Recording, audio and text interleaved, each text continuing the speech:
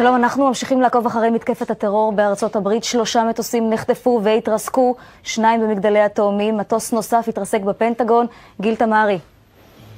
כן, מטוס התרסק בפנטגון, זה מטוס שלישי, מטוס נוסעים שלישי. בעצם מה שקרה בשעה האחרונה, אנחנו ראינו שלושה מטוסים שמתפוצצים כמעט אחד אחרי השני. מטוס ראשון ושני מתפוצצים במגדלי התאומים בניו יורק, והמטוס השלישי מתפוצץ בפנטגון. הנשיא בוש הקרובות, המטוס היחיד שמותר לו לנוע עכשיו בשמי ארצות הברית הוא המטוס של הנשיא בוש. מדובר כאן בפעולת טרור משולבת של אוסמה בן לאדן.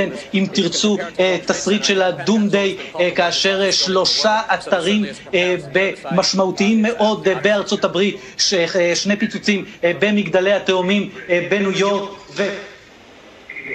כן, גיל, אנחנו שומעים אותך. אנחנו רואים פיצוץ נוסף, ענן נוסף שעולה בשמי ניו יורק. זו תמונה שאנחנו רואים אותה כרגע, אתם יכולים לראות איתנו ביחד את העשן נופל כמו בסרט הוליוודי, אבל מה שכואב זה שכאן זה...